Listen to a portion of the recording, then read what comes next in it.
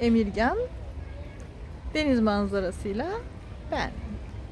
Demeyin ki bu videoları kim çekiyor? Gördüğünüz gibi ben çekiyorum. Oluyor mu olmuyor mu artık bilmem. Olduğu kadar. Neticede ben habercilik okumadım.